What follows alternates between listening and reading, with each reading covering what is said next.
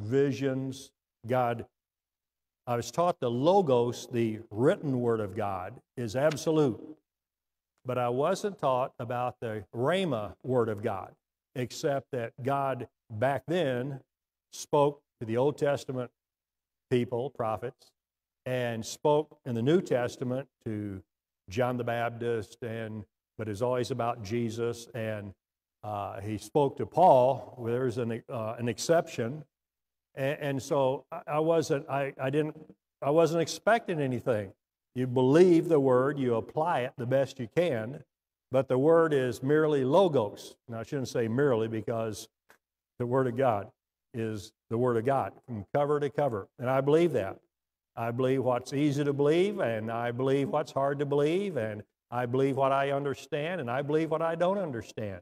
If it's in the Word of God, I believe it. I used to kid the professors at the school uh, that one professor that I really admired, a, a Catholic priest, said, Now, this man can speak four languages, read the Bible, quote any of the Bible in four languages. I mean, this guy was intelligent, okay? And so he justified away miracles, you know, like feeding the 5,000. Well, back then, actually, they had sleeves inside their shirts, and so they probably pulled out the bread. He said, So you don't really believe, for example, that a whale swallowed Jonah, do you? And I said, I believe the Bible if the Bible said Jonah swallowed the whale. Okay? I just believe the Bible. Now, call me simple, but I believe the, the Bible. And it has proven so true. Like people say, how do, how, how do you know the Bible's true? First of all, how it's changed the world with Christendom. Now, don't go get non Christians that abused it or people that said they were. The Bible, Jesus Christ, has changed the world for the good. But not only that, I believe it because it speaks to me and comes alive. The Logos becoming Rhema makes the Bible believable in, in my life. So I wasn't raised to expect words of knowledge or I was never taught about we can individually have visions. We thought it was all a, a psychological thing that you work, you get an idea, then you work it out. and See, I was taught God was factional, but God was not functional. He's factual, but not functional as you read. Though you might gain a thought, get a thought that's good, even a godly thought, but it's your thought. And I don't believe that. I, now, I believe a lot of them we get are merely our thoughts that proven to be wrong. Therefore, it was my thought. But when the thought comes to us as you're reading the Bible in the Word, God's, log- God's Spirit is moving and ministers to you, then it's God's thought that you're having. And that's what makes the Bible come real. So I want to continue the idea of courage, the series on courage. And in 1 John 5, verses 4 and 5. For whatever is born of God overcomes the world. And this is the victory that overcomes the world, even our faith. Who is he that overcomes the world? But he that believes in Jesus Christ is the Son of God. All right, now that's the that's the that's our foundation. You have to start believing in Jesus Christ. You have to know him, believe him, and live for him. Okay? You have to know him, believe him, and live for him. It's not mere doctrine, it's an experience. And so, in doing so, then what's an overcomer? An overcomer is obstacles have to be there, which means all of us, we're going to be called overcomers. That means we're going to be challenged. And whenever we're challenged, there has to be courage. And that's leading into the courage message. So you uh, should expect, I have another book I haven't read, I, I read the intro of it. Uh, obstacles, the way to success. And if you don't have obstacles, you don't mature, you don't grow. You don't, uh, if you saw those, uh, what were the sisters that were, let, ten, nine of them hid. Uh, we just saw the, the whole two hour, uh, they were chained to their beds and the what? Turban, Turpin sisters. and they'd been chained for 17 years, uh, and they only got out two times for the war, the parents to show them off. Anyway, and so they, one of them escapes, and they come in. Sure enough, they're chained to the bed, Turpin sisters, uh, and uh, some they never see daylight. They've never talked, spoken to anybody. Uh, they're, they're not supposed to watch TV except they stole a, a phone from somewhere and started watching. Uh, you know, uh, so. But one of them, the oldest one, who's 30, 27, year, you know, 27 years, uh, she looked like she was maybe 14. No creases on her eyes, no, you know, no wrinkles in her brow. Otherwise, placid. She had never experienced anything, so she hadn't developed like she should have developed, you know, with, with, with trials, with, uh, you know, real life issues. And so in our life, we need to understand obstacles are for our strength. No obstacle sneaks up on you. God knows all about it before it comes, and then while you're there, while you're doing whatever you're going to do to get through the obstacle and continue. God is already there. He knows. so, why does He allow these things to happen? Not so He can test your strength, so He can test you so you know your strength. And that takes courage to overcome an obstacle. Doesn't matter what the obstacle is. and that makes you an overcomer. So, with courage, now catch this, with courage, that's what the teaching's about. With courage, there is risk, and there is threat, and there is confidence if you're going to overcome. So, with every threat, every obstacle, it takes courage, and if you're going to follow that courage, there's going to be a risk and there's going to be a threat, but your confidence makes you overcome. Now, let's bring that into this spiritual. So, God is walking us along, walking you along, and He says, okay, time for you to grow in God, time for you to mature. Now, one of the mistakes Christians make, and, and my, you know, I've been raised with this concept of what church is. So I'm always, that's my vision, natural vision. And see, the Christian mistake is when God's going to do a new thing, we've been preaching that for a good two years now, and for a year we know God's doing something. But here's the mistake. Hello. We as Christians, because our concept we know what we've experienced. We know where we're coming from. Our concept is, oh, God's doing a new thing. That means more of the same. That's not a new thing. You follow that?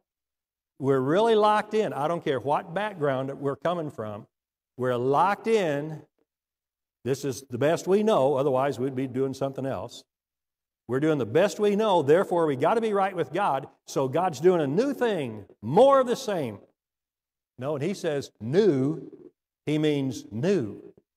For an example, how does God take this church from a storefront to here? At best, we should have just got a bigger storefront.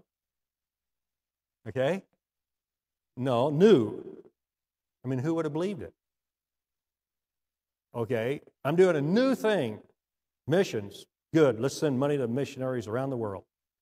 That's a good white thing to do in denominations and church. No, I want you to buy a motorcycle. New thing, okay, I got a love for the bikers. A new thing, okay, a bigger bike? No, I want you to buy a hot air balloon. You see, new New means different, people. So we're saying in this church, God's doing a new thing. It's different. And we better be prepared. So I want to examine my call in order. And, and after I've typed all this out, I realized I skipped some. Matter of fact, the very first vi- dream I had back before I was going to a Bible Baptist church, Centropolis Baptist Church, hard nose. I mean, hard nose. We didn't even like other Southern Baptists. So I had a vision of me on a motorcycle in front of the church with a patch on. Now, I was so naive, I thought Hell's Angels. I, just, I didn't know there were other patches. I mean, really, I, I did not know that world, okay?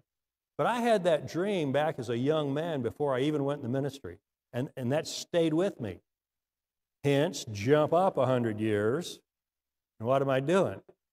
Taking the gospel on a motorcycle, the church behind the motorcycle, the gospel on a motorcycle to the patch that I thought I saw in the dream. I don't remember the patch, I just remember I had one.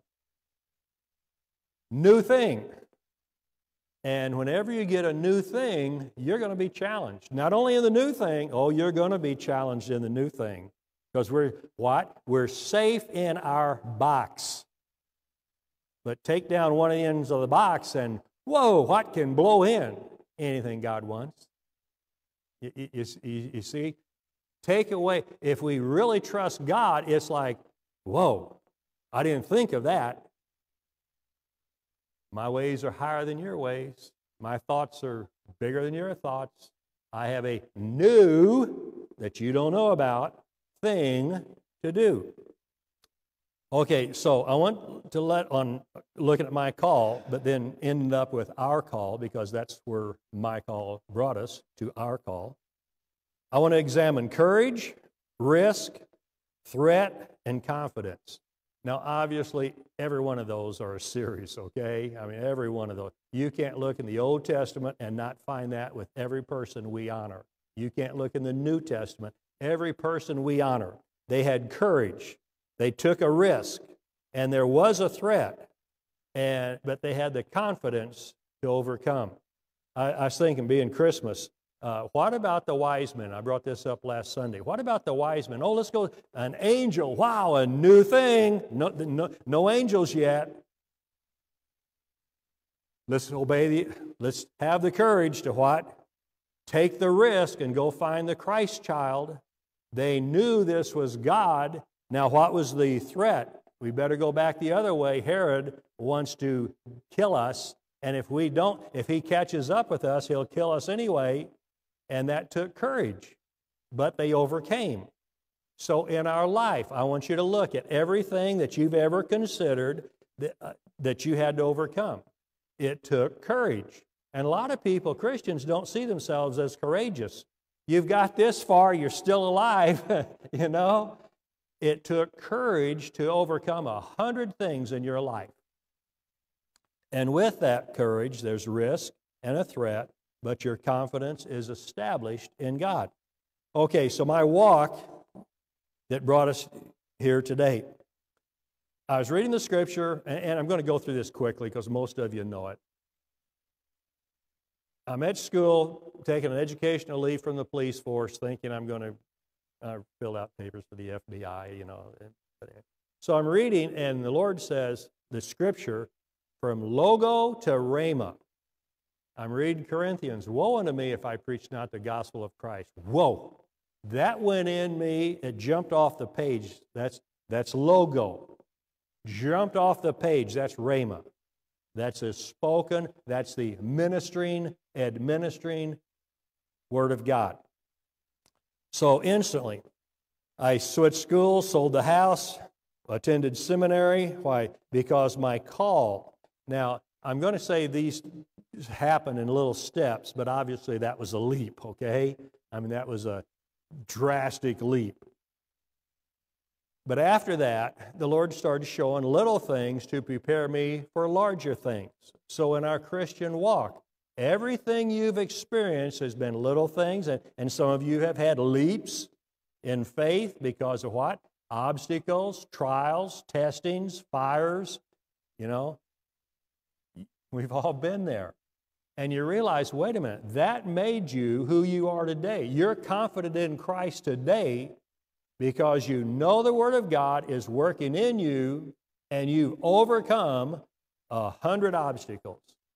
And now you're better equipped and qualified to minister to others with the leading of the Lord. And He'll just keep opening the doors. Because why? He doesn't give you that courage so you can sit on it. You don't, you don't get to put it in the bank and cash it in on the other side. You use that courage on this side and you bear the fruit and you get to cash that in on the other side. Okay? So to speak. Okay, so then I took the first church and during that time I received the baptism of the Holy Spirit and we didn't believe in that. We, believed, we didn't believe it was an error. We just knew it was satanic. And then I got it. And uh, so they fired me. And but right before that happened, I started going to other churches, being indoctrinated with poison. And I see these people, the biggest thing I saw, first of all, they believed God was real in everyday life. They also believed God talked to them. Now I know they're not, they might not be satanic because I do know they got love, but you know, they're not really sound people. They had every kind of Bible, you know, they'd meet and Bible studies, every kind of, I didn't even know they made that, that many Bibles because I was King James, original King James. One thing I can thank God for is being raised in a house that believed the Bible. I know the scriptures, and they're all true. But the problem is, and this isn't all of our life still, is we believe and understand up to the point where we are. But there's more. There's always more, okay? So then I ha- had my first vision. I was visiting the Assembly of God church. They were full of love. I walked in. Now, tell me this. It's a small, it, we're in a sanctuary, but it's a small group, 20 maybe. And as I walk in and sit down, the pastor's asking nice things, and he says, And what's your name? And I said, Mark. And, and Mark, why are you here? And, you know, I'm checking them out. You know, big Bible. I said, Oh, just watching. And he smiles, says, Just watching. Good. Now, how could he identify me? Maybe the frown I had, maybe the huge Bible, but I don't know. They had love, and I didn't. I knew this was good stuff.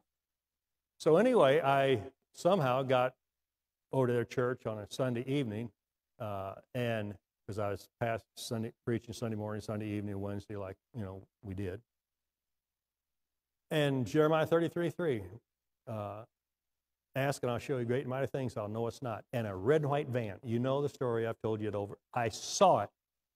I wasn't taught about seeing in the Bible. I, I never knew that, but I know what I saw. Long story short, ne- next week, driving down the highway, there it is, turn around, go back and buy it. So now I know that God, His Rhema is, word is stirring. Not only the logo, it's always based on the logo, the written word of God, but now this, the, the supernatural is now supporting the written word of God. And now the written word of God starts coming alive. And it's like, wow, this stuff works. I, am supposed to believe it and, and hope, you know, for what the best. No, no, He gave us the written word because it's His word. And with His Spirit combined, it moves us, it transforms us to His image and to what He has for our life. And so I start the second church, and and uh, uh, and the first the seminary I went to, uh, graduated from, which they later took my degree when I received the baptism, uh, was a church planting seminary. Now, wasn't that lucky? Because later I came here and started a church. Didn't have anything to do with luck. Back when I was dumb to hearing God, God still ministered. When I was ignorant, naive, I didn't know, and go to a church planting seminary. So in that seminary, if you're anybody, you go and start churches. And that's what we did while I was in that seminary. We do that on weekends. A lot of, a lot of fun. But that was preparation for this church. So, way back in Belton and in Kansas City, that was all preparation. I, didn't get to stay there, I didn't get to see the result. No. He said, I have a call for you, I have a mission for you, I have an obstacle for you and you're going to gain courage and understanding. It's going to cost you risk, and there's going to be threats, but because your confidence, you will overcome. Remember that line, people. You use that in your life over and over and over. So, anyway, then I'm pastoring the second church, drive down Exchange Street. There's my what? my second vision, or actually my third vision, I knew to come back and start the church. Now, my first fear of God happened when I was praying and debating about sending somebody up here rather than me coming. The fear of God. Now, you know that story if you've been here at any time at all. The fear of three o'clock in the morning. I'm, I, I can still feel the velvet on that green velvet Queen Anne chair. I mean, I, that's something you'll never forget. The fear of God came on me. I, I, I knew it was going to kill me right there. If I stop praying, he's going to kill me. If I don't continue to pray, he's going to kill me. If I open my eyes, I know he's behind me. He's going to kill me. I knew. That's the fear of God. The only difference between me and the old king in the Old Testament, my knees weren't knocking. And the reason for that, I'm on my knees, so they couldn't knock. But it's like the fear of God. I was never taught about the fear of God. Even to this day, I've not heard other ministers talk about the fear of God. It's respect, it's honor, and I believe all that too. But he also means fear. And I, that, I think that's one of the problems the Christian church hasn't had, uh, or has, is they have not had the fear of God. But anyway, so I have that. Now I know God's ministers that way. So I quit the church, sold the house, and moved to Geneva. Now, do you see any need for courage yet? Do you see any risk involved in selling everything, moving up here with no name, no phone number? Do you see any risk yet? And do you see a threat yet? But also, there is confidence that God would lead me. So I'm sitting out on a long pier, and I said, you know, left the family up in Williamson, and the relatives, and I come down. what do I do now? And I'm sitting on a long pier, and I hear this: start walking. Isn't it interesting how God can say so much by saying so little? And you don't ask where, when, why, what. Just get up and start walking. Long story short, find a bookstore, Christian bookstore, ask for a full gospel businessman, sends me to Bill Cole. Al Allen, the pastor from North Cohocton, just lucky he was there. No, God knew, God knew, he even knew the little steps. He knew I was going to walk around and ask people silly questions because I didn't know what I was doing. And then I see the bookstore, Christian bookstore. Ah, you know, safe. Maybe I can get some water. no, I walk in, they'll say, go up to Bill Cole's. You see how the little, God takes you through little steps. And people, it takes just as much courage in little steps as it does big steps. Little steps just merely prepare you for the big steps or the next step. Now, maybe you're going to have a whole slew of little steps, but you'll be able to look back and say, I remember when I was there, but look what God has done in my life. Now I'm here. That takes courage. So, we go in, I talk to him, and uh, uh, we start the we start the Bible study. We start the church in his garage, uh, mechanic's garage, and uh, so then we move up. We find the building available. We move up to the carriage house. Now there, I have my third vision of the curved roof. Okay, you know this story. So I'm walking around and go downtown because it's not in the front. I'm walking up and down Exchange. Go around back on the railroad tracks because I couldn't find it. I'm, you know, and I look, there's the roof. Kurt, that's the roof. So I go in and I ask the man, he's selling furniture, putting sales tag. I said, I want to buy your, your building. And he, and he laughs, John Church. He laughs and he says, My building's not for sale. I'm, the furniture's for sale. I, and so, anyway, long story short, 45 minutes, we shook hands. He's carrying the loan, and I bought a church. I bought a building. Now, that was another step. You don't think that took courage because there's a risk there.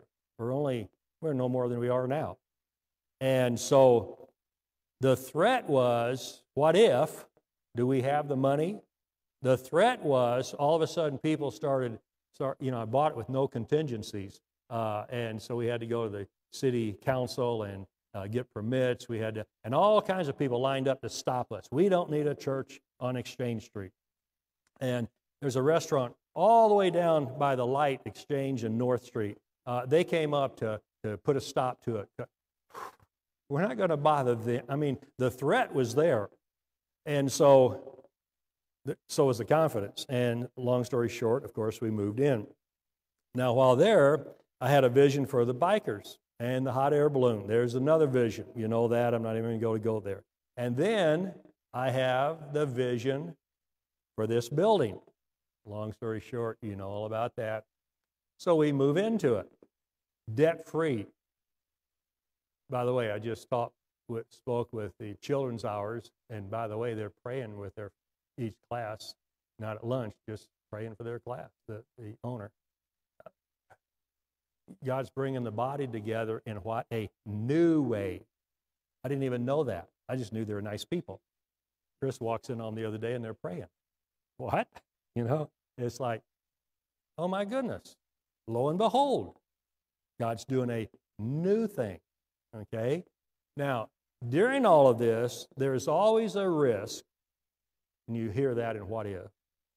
But if you're confident, you know God will take care of those what ifs.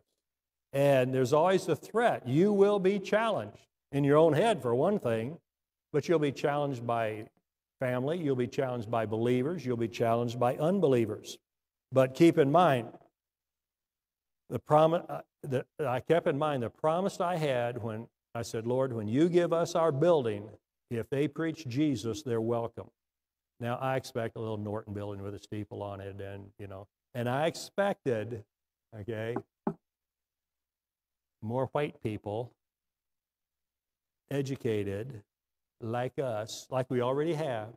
I expected more of us, right? He's doing a new thing. You have 30, 40 people. He's doing a new thing. So now we're going to have 50, 60, 80, 100 people like us. Move into the building. Have you seen any other groups like us? Well, they did. They came and go. Who stays? They're not like us a new thing. And see, you got to get out of our box. I don't care who we are. Me, I'm waiting for the new thing. I, I prayed last night with Kathy while we were going to bed. I said, God, sock it to me. Sock it to us. Do you try? I have enough confidence in Jesus Christ. He gave us this building for a new thing. And that's going to take us out of our safety zone out of our security net, out of our, but we're going to have the courage, and we do have the courage, and there's risk, and there's a threat, but the confidence of Christ. So now we move into missions into different countries, uh, and people, the church is on a slow roll. It's moving, okay, in order to take courage. Remember that line. And when the Lord says, My ways are not your ways, my thoughts are not your thoughts, what he means is they're different. Are you ready for different? Or you say, Well, yeah, well, wait a minute. We got two other churches doing great. They're doing fine. They, you know, they, but he's not finished. What's different? What more different is he bringing? And so I want to talk about the there's normal risk, there's cost, security, friendship, uncertainty, the what ifs. That's just normal. Who's going to pay for all this? Uh, what security do we have? Uh, one leader. Oh, by the way, every time we've moved, I've lost elders, a set, sets of elders. So from up on the carriage house where we established the elders, uh, we're not moving down there. Exchange Street is wicked and dangerous. Uh, and then the el- new set of elders downtown, uh, then we move up here. We're not moving up there. Uh, we want to stay down here. And so change. You, get, you get new. See, leadership has to be, including me, leadership has to change. Otherwise, you remain the same. And people, I ain't ma- remaining the same. I'm open to God. I've learned to trust Him. I have confidence in Him. So you have the threats uh, from the community, but here, most of all, you hear it from other so called Christians. And Christians, we believe, some are, they just couldn't hear God and agree. I fine, separate, go your way, God bless you. But it's, it's, the, it's the others that, that really challenge you. I mean, they're not, they're not open to, is this really God showing you? They're not open to discussion. Uh, let me share some things that I've heard uh, just here in Geneva from other Christians when we were moving with God. You can't do that. Remember when the bikers rode in downtown? Some of you know that. Tim Driscoll, he was there first Sunday I bought my bike and I rode it into the church. And he said, Hey, crazy, I'm never going back at church. Okay? You can't do that. Okay? Uh, what if it doesn't work? What if we move down there and it doesn't work? What if we move up here and it doesn't work? Do you know how many ten, hundreds of thousands now that God has given us for this building alone? People, none of us here are rich. We haven't had any big giver. We haven't had a grant. We haven't had. Where does that come from? What about the security? What if it doesn't work? Or, I heard this from leaders, uh, a couple, husband wife, when I bought the motorcycle. He's just living his second childhood. He'll get over it. well, thank you for having such confidence in me as your pastor. Okay? So I bought a bigger bike. Anyway. But here's some other Christians. These are, these are evangelistic Christians. These are the ones that passed out tracts on Exchange Street. When they came to, bikers came to church, four families were leaving. And one family that the track passer out of had two daughters, same ages as my two daughters. They even looked alike, all blonde hair. I said, Why are you leaving? And he said, They're not sitting by my daughters. I said, They're sitting by my, they're not coming in here to rape your daughters. They're, God brought them to hear Jesus. Okay? And so that's opposition from within the body. See, outside the body, you expect that, but you don't expect it from within the body. Be aware of that. Or it's either they go or I go. We've had that three times in here. Now, it's been other churches, thank God. Well, it's been a couple families too, but, uh, well, they left. Our church is still here, still doing God's thing, and now doing more God's things with the missions. Uh, and then you hear this. This is when you really know you're not on the same page. When you hear them use words like they and them in our building, people, that is sin. That is sin. There's one body, and that's Jesus Christ. And the hand can't say to the foot, I don't need you. Especially when the head says, Shut up, Ham. This is what we're doing. See, you need to, you see, it, well, yeah, but we want more of the same. No. New means different. So, confidence. See, persecution unites. We got united every time we were, quote, persecuted with the other church locations. But divisiveness destroys. Now, in Philippians 1 5, being confident in this very thing, that he which has begun a good work in you will perform it until the day of Jesus Christ. See, watch God. All of you are the fruit of this ministry. God knew you'd be here. God put, you know, the devil didn't bring you here, the world didn't bring you here, the flesh didn't bring the Spirit of God brought you and all those that are going to be here the next hour. This is our body. Listen, this is the fruit, the main fruit, the core fruit of way back when I was sitting in William in Williamson or in school. Woe unto me if I preach not the gospel of Jesus Christ. Because why? You are waiting. You see that? And now, not only us, now this is what I'm talking about, the church is beginning to roll, okay? Reaching out to missions around the world like we've never done before. Does that make sense? We don't even know those people. Where's that money going? Yeah, maybe ought to, Kevin got all excited about Pakistan, and this woman over there kept calling, and they really connected, and this is the Lord, and he's checking it all out, and, and then she keeps calling, and, and I said, Kevin, I hope your passport's up to date. You know? New means new. New means, well, we haven't ever done that before. New means new. Catch this. New means different. So courage. John 1 or Joshua 1, 6 through 8. Be strong and of good courage. That's the essence. You will divide the inheritance. That's us. That's you, people. You're dividing the inheritance because of your faithfulness. You believe God, you're part of this ministry, you have the courage to be so, you're taking the risk, the threat, and you have the confidence. So, hold on to your seat. and God bless you.